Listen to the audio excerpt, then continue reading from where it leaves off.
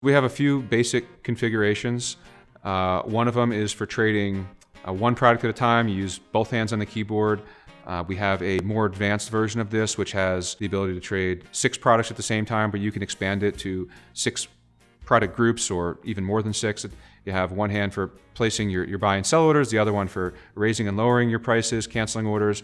Uh, use your thumbs for setting your order quantities very quickly, and you have your, your panic keys above on your right hand. Once you get your hands used to it, it's very comfortable. You don't have to look at it at all. It's, it just it's intuitive. We have another keyboard used for spreading. Uh, you can use it for arbitraging between markets, legging into a bean crush or a crack spread, uh, anything where you don't want to use uh, a spreader that um, is going to automatically do anything. You just want to be able to move your orders up and down based on the changes in the, depth and, and the market. You can do that, I think, better with our keyboard than you can do with any other product.